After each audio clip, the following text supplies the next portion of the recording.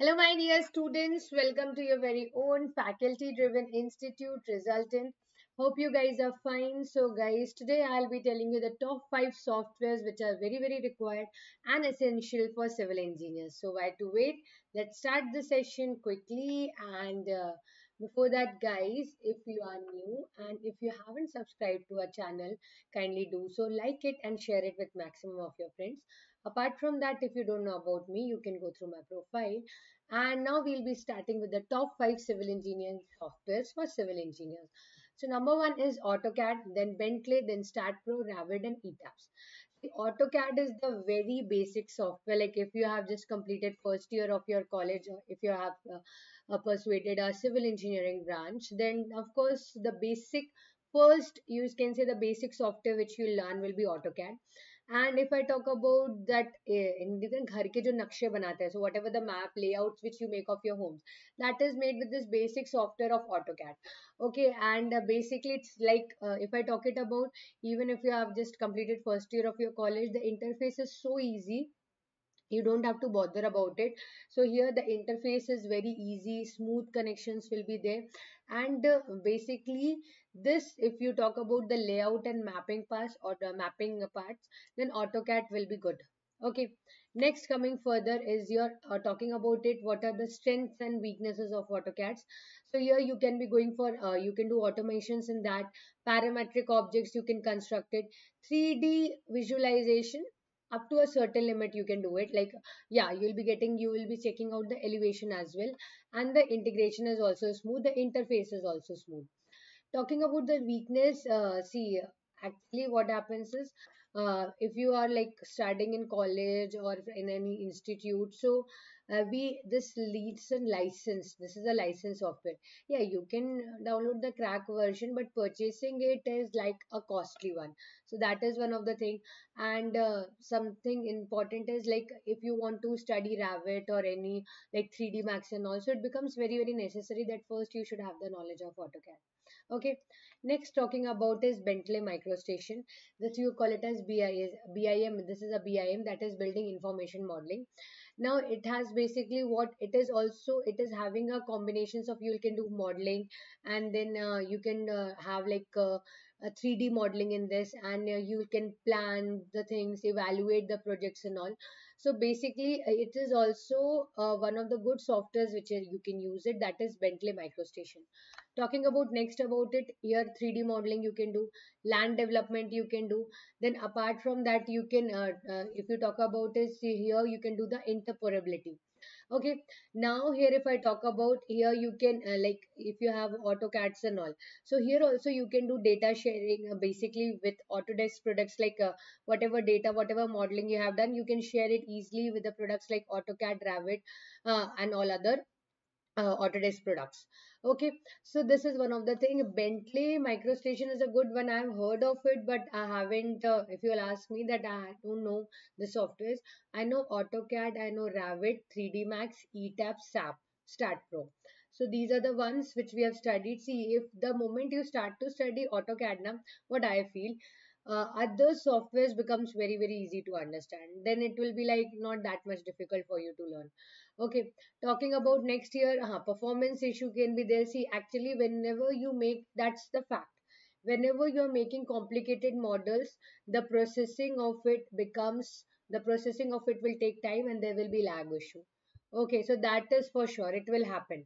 3d modeling whenever you are doing it lag issue will be there at many times okay.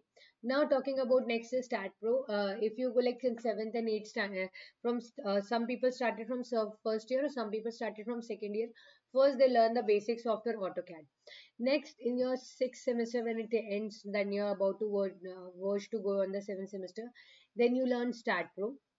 This is again a powerful software which is used in civil engineering and uh, is it it is what here also you can like uh, here you can do the modeling. Very i can say smooth processes there. And uh, it will like uh, if the structure is failing each and everything it will let you know. Okay. Talking about here hit as i told you it fits with local codes then dynamic analysis also you can do like uh, if you want to make a earthquake resistance building. So the effect of earthquake wind and other pair forces all the options will be given to you. So you can create the designs by yourselves. You can like uh, providing reinforcement each and everything providing dia of what dia providing uh, reinforcement of what dia each and everything you can design. Okay and here what will be uh, happening is you can visualize the structure in a more prominent manner okay so that is the strength of it. Talking weakness about it is yeah non-linear analysis it's limited. You can uh, do it up to a certain extent talking about next is uh, stat pro as i told you best but actually if you want to design the whole structure let us suppose i want to make a building of g plus 25 g plus 50 story building then actually for complete analysis stat pro alone will not be sufficient next if i talk about revit this is one of the best software like uh, you might have seen uh, uh, you can say like any society is getting developed or any builder is like making the flats and he's selling selling it. So you will see that uh, they will be like firstly they'll show you the model of it. Then eventually if you check it out in as you go inside the home you can see the sofas are there the ceilings are there. So that is the modeling which they have done. That is done by this Revit okay? Revit and 3d max are there. So basically here you can be like a 3d combination will be there. You can you can even select the floor which you have to use this false ceiling material which you have to use each and everything 3d orientation can be done.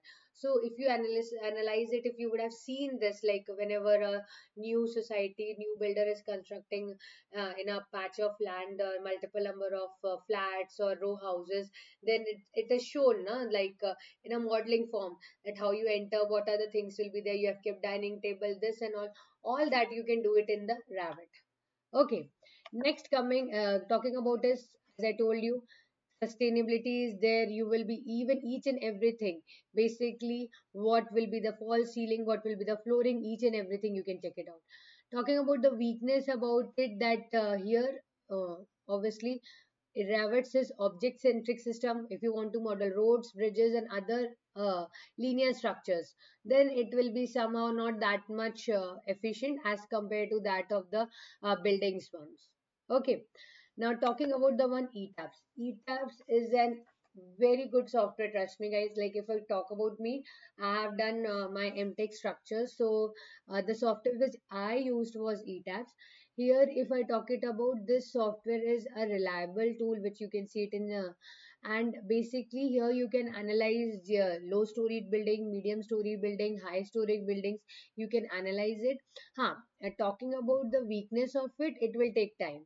It will take time for uh, you can say it will take time for uh, rendering purposes. Okay if you make a like g plus 50 storied building of course it will take you two to three hours for uh, rendering purpose. And then after that uh, it tells you the considerable points where the failure and all will occur so this is one of the good softwares you can like i think that the interface is also very easy like if you will ask my opinion because i have done my whole mtech uh, project in etabs only. So i find it very very easy breezy. The functioning is very smooth. Even i like it much more as compared to that of STAAD.Pro sap is also good. Etabs and sap if you are thinking of uh, like your college might be having the license you can get the version of it so if I talk about ETABS and SAP, they're more or less, I don't find uh, uh, like vast difference in the user interface. They are good. And but uh, firstly, if you are planning to start uh, for uh, learning softwares, and if you are like in the beginning of civil engineering right now, then I'll say you that purchase uh, for purchase. I'm saying learn AutoCAD first. After that, Bentley, if you want, you can learn. Like I haven't learned it, means I haven't studied it only. I'll tell you. I just heard the name of it. As I told you, AutoCAD, Revit, 3D Max, Stat Pro, and then uh, I have uh, this one ETABS and SAP.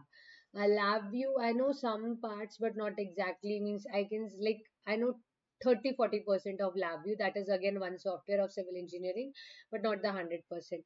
So if you learn this softwares, building, designing, modeling of it becomes easier and yeah so if you're thinking like uh, you'll be going to the construction phase later having your own uh, uh, you can say a consultancy company and all then it's good to learn softwares or if even if you want to work under somebody Okay, so these are the softwares which you need to know, and let's meet in the next lecture.